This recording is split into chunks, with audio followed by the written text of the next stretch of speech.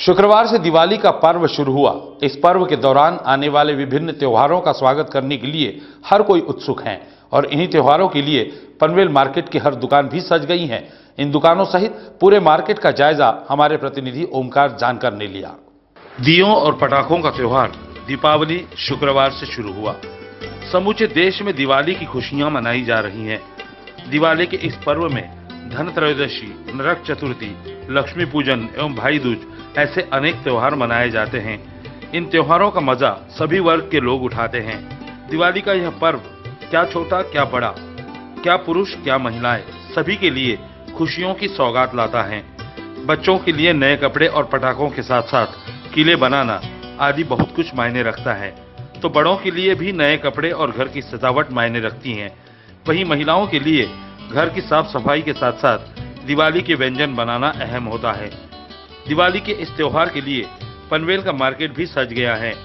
हर प्रकार के व्यंजनों के साथ साथ कपड़े, गहने, पटाखों की दुकानें और साड़ियों की दुकानें आदि जगहों पर खरीदारी के लिए लोगों की ज़बरदस्त भीड़ देखने को मिल रही है, जहाँ लोग अपने प्रियजनों के लिए कुछ न कुछ खरीद रहे हैं। हमारे प्रतिनिधि ने पनवेल मार्केट का दौरा कर इन सभी बातों का जायजा लिया।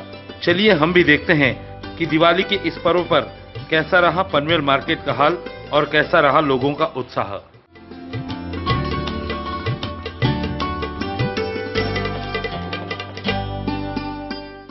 दरवर्षी दिवाळीमध्ये धनतेरस म्हणावं की लक्ष्मीपूजन म्हणावं की पाडवा या निमित्ताने लोक सोनं खरेदी करतात चांदी खरेदी करतात आणि हा व्यवसाय दरवर्षीप्रमाणे व्यवस्थित जातो.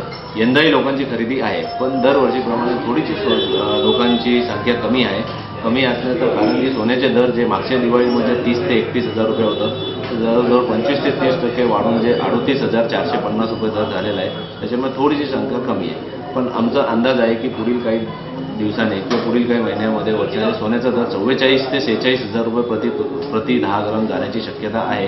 तर लोकांनी या विषयामध्ये किंवा ग्राहकांनी घाबरू नये की सोन्याचा भाव कमी होतील की आम्ही खरेदी करू नये.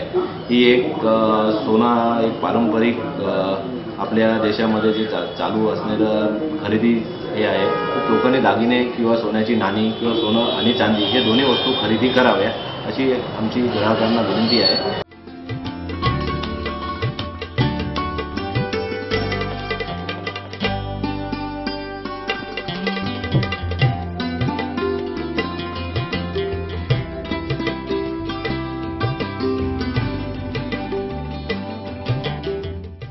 हे आमच्या इथे भाजी मार्केटमध्ये दिवाळीचा सीझन फार मोठा असतो आणि सगळ्या खेडेपाड्यातून सगळे लोक इथे खरेदी करता येतात आणि चांगल्या प्रकारे सगळ्यांची इथे धंदे होतात.